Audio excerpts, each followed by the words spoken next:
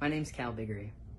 I'm a white man of trans experience, and I come from a two-parent household. Both of my parents are college educated, and they were both US citizens. I say this because even though I've experienced some challenges due to my transgender identity, being a white man comes with a lot of opportunity and a lot of safety. Over the last year and a half or so, I've taken part in a wonderful organization called the Intentional Man Project. They're a group of men who come together and discuss mindful masculinity and how to be a better man in this world. I've also had the amazing gift of watching a beautiful community rise up around me at the business that I run with my partner called Salon Benders.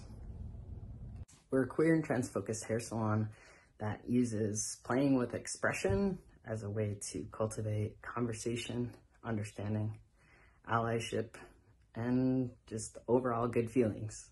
I've been on this journey for a long time and it's far from over.